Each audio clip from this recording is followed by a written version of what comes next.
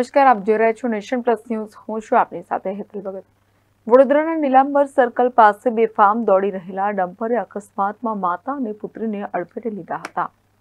વડોદરા શહેરમાં અવારનવાર અકસ્માતના બનાવો બનતા હોય છે. વારંવાર ડમ્પર ચાલક દ્વારા અકસ્માતમાં અનેક વ્યક્તિઓના જીવ ગુમાવ્યા છે.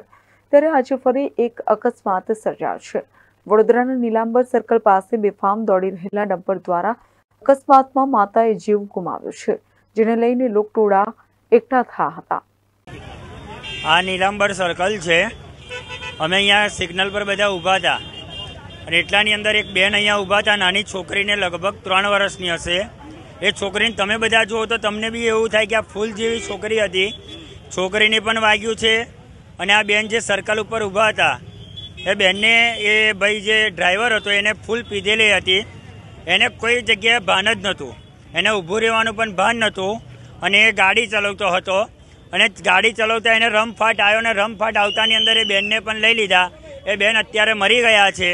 કદાચ અમે એવી અપીલ કરીએ છીએ જાહેર બરોડાની જાહેર જનતાને કે આવા ભારે વાહનો હોય, કે કોઈ બી જગ્યા હોય, કદાચ આપણી બેન હોય, મા હોય, દીકરી હોય, આપણા ભાઈઓ હોય, એ બધા નાના નાના મરી જાય, એટલા માટે આપણે સરકારની એટલી નમ્ર અપીલ કરીએ છીએ કે આવા જે મોટા મોટા વાહનો છે એને બંધ કરે જલ્દીમાં જલ્દી એટલી સરકારને અપીલ છે.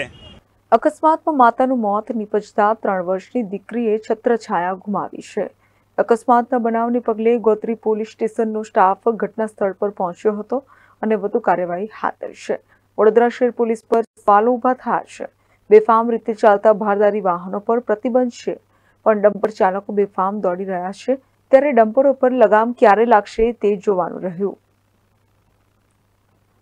કેમેરામેન નવનીત પરમારી સાથે Satyam Nivaskar nation plus news Vadodara.